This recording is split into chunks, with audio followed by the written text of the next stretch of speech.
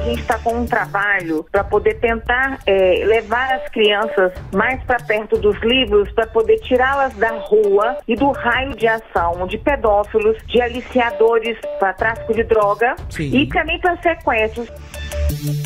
Aqui, o melhor conteúdo da Rádio Nacional. Curta nosso vídeo, se inscreva no canal e compartilhe.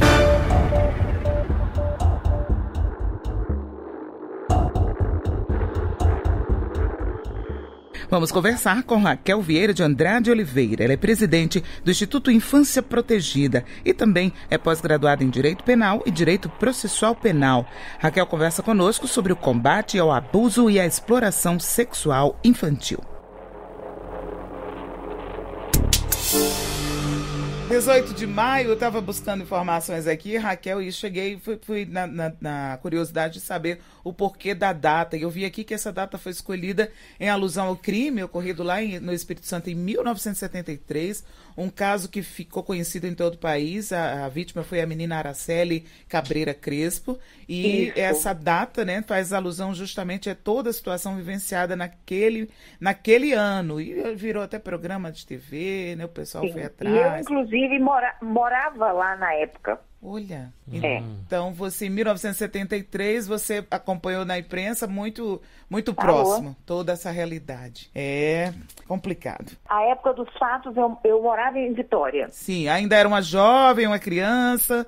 Eu tinha dois aninhos de idade. Oh, menina. Hum. Então eu esse ass... esse assunto rendeu muito tempo lá, né? Não é, ainda, Raquel? Ainda se fala no assunto, né? Sim. 18 de maio não tem como não não lembrar de Araceli, né? Uhum. Inclusive, quando às vezes eu passo na rua em que ela morava, me fico imaginando, né? A última vez que ela saiu dali para ir para a escola, ou assim, como um dia comum, foi para a escola e nunca mais voltou para casa, né? O crime ocorreu e foi de uma repercussão nacional, né? Ela foi sequestrada, ela foi abusada sexualmente, ela foi mantida em cárcere, não é isso? Exatamente. Dopada. dopada. Drogada é, se fala também, né? Sim, sim. E aí, é, ainda para conseguir mascarar, para poder evitar né, a identificação do corpo, porque ela morreu dia 18. E o corpo foi encontrado dia 24, seis dias depois. E o corpo foi encontrado com. jogaram ácido no corpo para dificultar a identificação. Nossa. E Justamente o corpo foi encontrado onde hoje, em Vitória, tem o hospital infantil. Sim, entendi. Sabe? Então, assim, é um pouco irônico, né? Pesado. Porque uma criança foi encontrada naquele terreno e hoje é o hospital infantil. E a definição do caso existe? Foi punido? Teve punição? Não, foi não foram punidos. Chegaram, não foram. É, Sabe-se quem são o, o, os, os, os, algozes, né? Vamos uhum. falar assim, o, os autores, os algozes, porque isso também é um algoz, né? Um, são de famílias muito, são de famílias tradicionais e poderosas dentro do Espírito Santo. Entendi. Então foi algo assim que a gente tem a sensação de impunidade e a sensação de que é, impotência, hum. né? E foi uma família totalmente destruída. Com certeza. Porque o pai, se não me engano, já até faleceu. É, o irmão, a última vez que eu soube do, do Carlinhos, ele estava morando em São Paulo, a mãe retornou para o Chile, sabe? Então foi uma família que foi totalmente destruída e, lamentavelmente, como as pessoas dizem, quem tem, tem poder às vezes está impune, né? Difícil ouvir isso, viu? E aqui no começo. E era uma menina muito bonita, linda, tá? Uma menina linda, linda, linda. Eu lembro. Sempre a gente. Esse nome, Araceli, ficou marcado. Ela Sim. atingiu a família é, o, caso atingiu a família, mas atingiu o país inteiro. O país inteiro. Tá, Foi linha inteiro. direta, Chamou, foram é. vários os programas que tiveram. Inclusive, a minha irmã mais velha se parece, parecia-se muito com ela à época. Então, minha mãe ia, levava na escola, buscava, ficou muito assustada com aquilo, sabe? É, é, mexeu com a sociedade capixaba e com todo o Brasil, Brasil. né? Ouvindo você falar, agora puxando aqui um assunto com a Adalto, é que ela falou ali na rua em que ela passa quando ela vai ao uhum. Espírito Santo, que ela imagina que a criança saiu lá. Aí a gente vê, eu, eu, eu lembrei de um ponto de ação aqui para a gente é, chegar aos caminhos que é feito, Sim. né? Que é feito um sequestro, que os principais casos de sequestro e é, crianças é, retiradas assim do seu convívio, normalmente é nesse trajeto, Raquel, escola Quer dizer, cada vez mais os pais têm que se precaver de evitar deixar a criança saindo sozinha. A gente sabe que, ah, vai ali no mercadinho comprar uma coisa. A criança não aparece mais.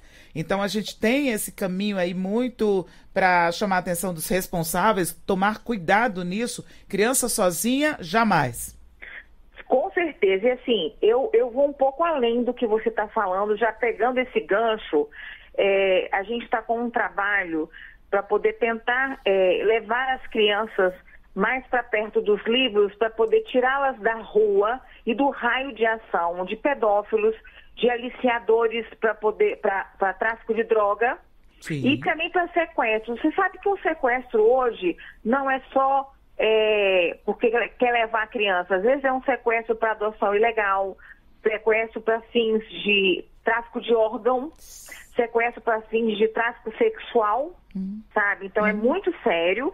E então a gente está com um projeto em, em, algumas comunidades, porque eu sou, nós somos de Vila Velha, eu estou no Rio agora por causa dessa semana que eu fui convidada para umas palestras. Tá. Mas é, nós estamos com esse projeto de roda de leitura, aproximar a, a, a, as crianças e os adolescentes da, uhum. dos livros, né?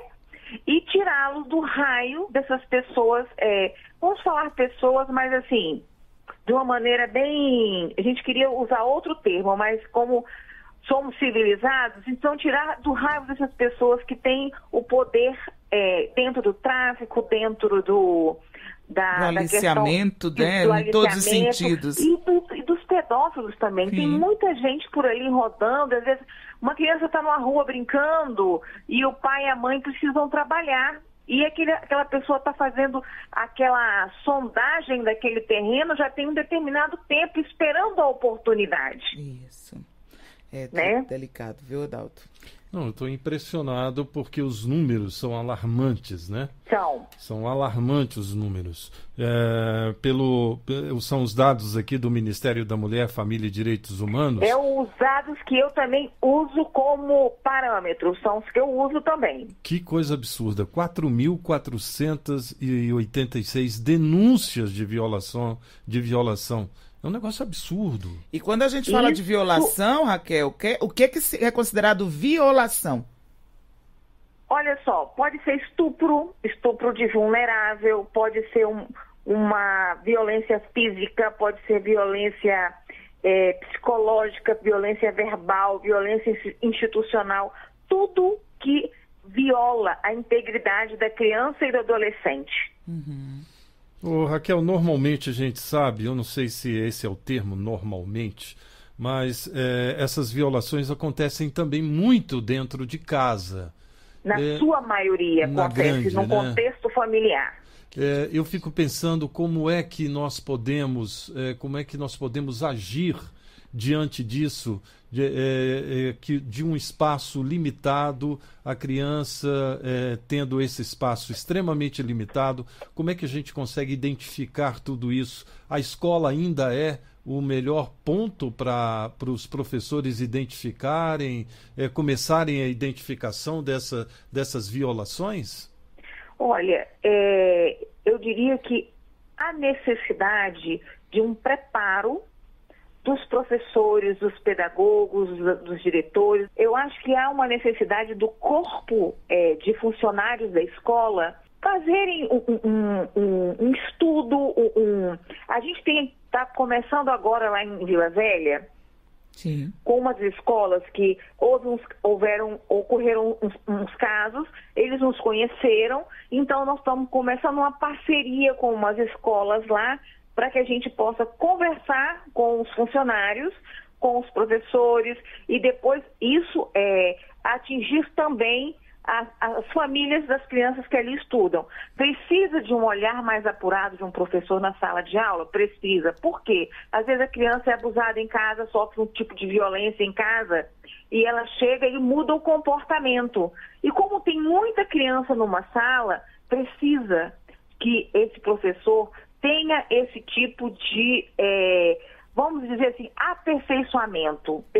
É como se fosse um pequeno curso. Um treinamento. Ele, sabe, um treinamento. Obrigada, estava me fugindo a palavra. Um, um, treinamento. E a gente está fazendo essa parceria agora. Legal tá? E porque ocorreram casos, eles não nos conheciam. E assim, é um trabalho de formiguinha, mas graças a Deus a gente está tendo êxito. Legal. Mas precisa dessa apuração, por, desse olhar apurado. Por Sim. quê?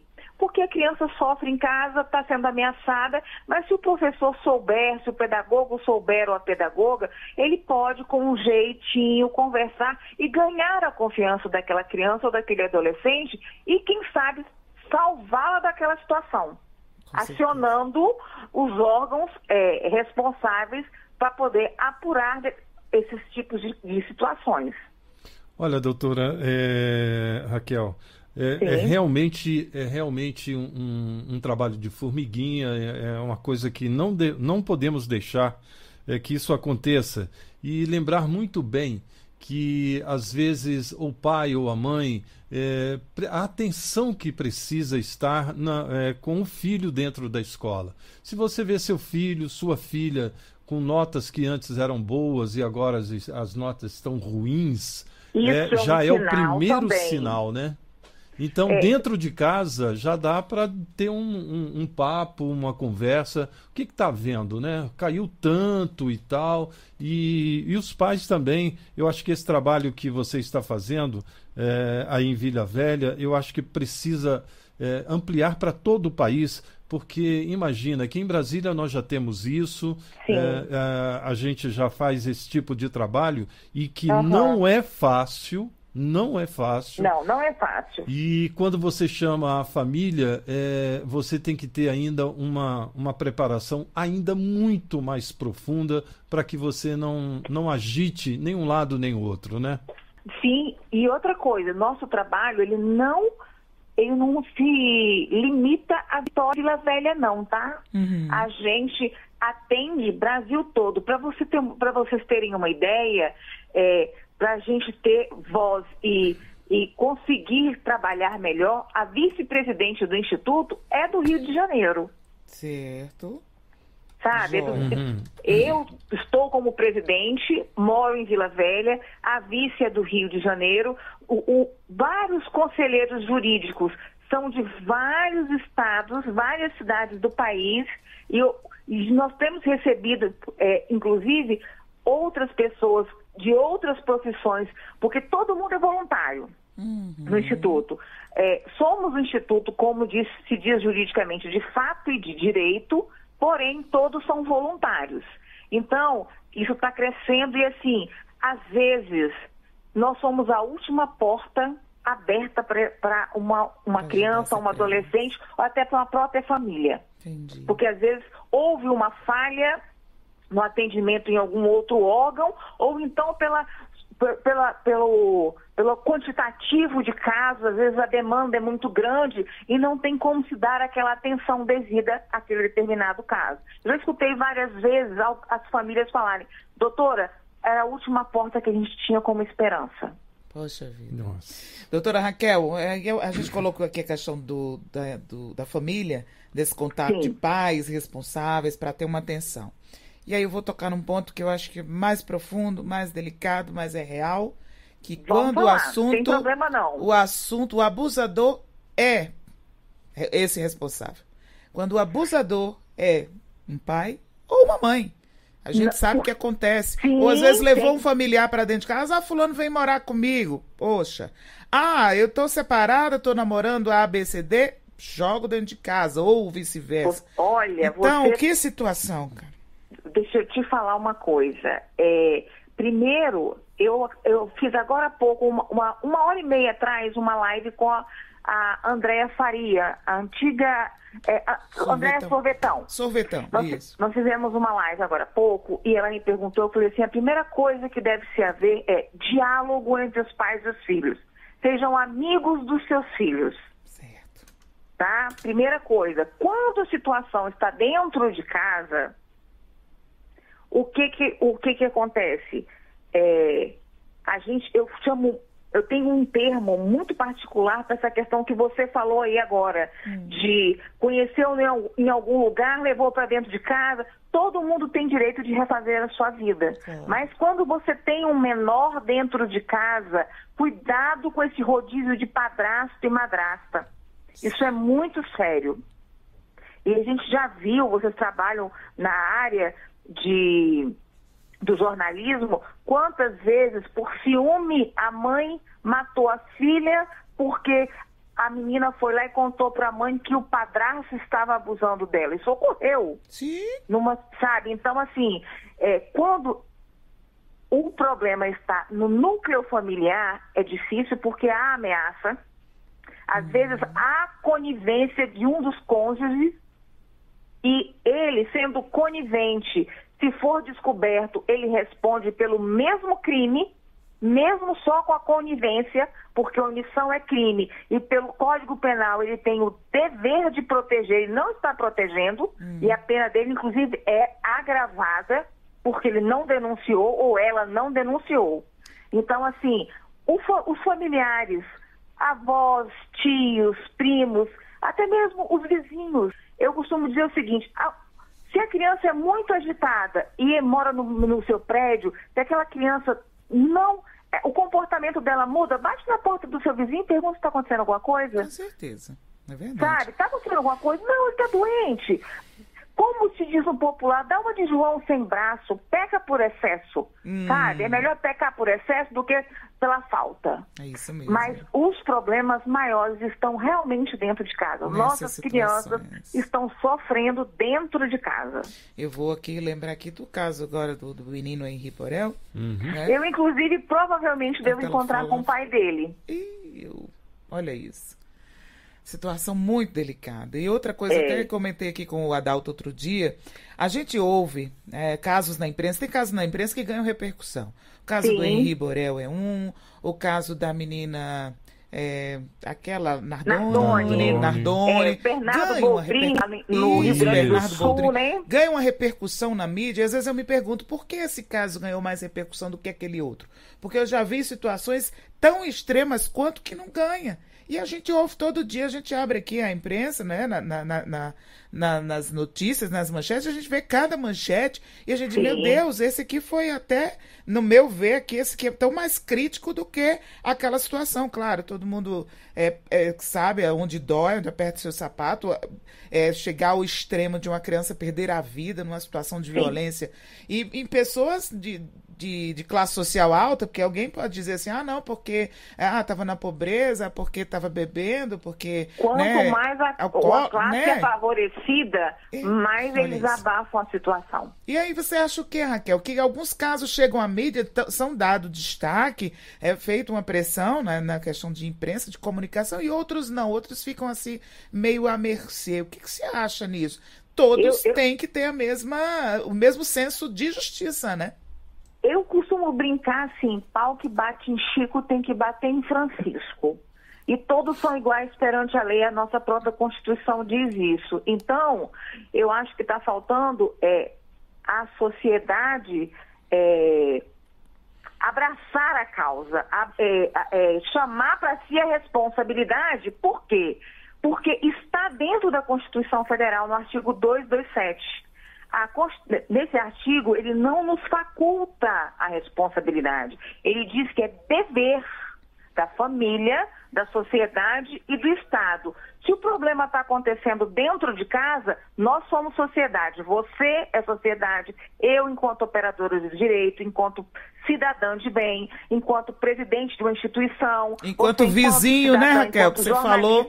Então, eles não, essa, esse artigo não nos faculta. Uhum. E se a uhum. gente ficar calado, a gente está tá cometendo crime de omissão. Isso é sério. Verdade. E assim, o que me estarrece é que quando é um crime bárbaro envolvendo uma criança acontece numa comunidade mais simples, aí que a reportagem chega naquele local, aí chega aquela vizinhança e aparece e fala assim, ah, eu estava percebendo mesmo algo. Olha, eu falo assim, pelo amor de Deus, se eu estivesse ali perto, por que, que essa pessoa não abriu a boca antes, está aparecendo agora porque o, o, carro da reportagem chegou agora, a criança já está morta. Se ela percebeu antes, por que, que não denunciou? Uhum. E, não, e, e não é dizer que não tenham conhecimento de que a denúncia é anônima, porque isso está sendo propagado aos quatro ventos. A denúncia é, é, anônima. A pessoa que denunciar vai ficar no anonimato. O que ela precisa de fazer é o quê? O endereço, as pessoas envolvidas, um ponto de referência. Foi assim que libertaram uma criança é, é, cheia de corrente em São Paulo. Eu lembro. Porque deu um ponto de referência. Hum, meu Deus, eu lembro. Sabe? Então, assim, há necessidade do envolvimento da sociedade. Uhum. E a gente, o nosso papel, um deles, é chamar a sociedade para responsabilidade.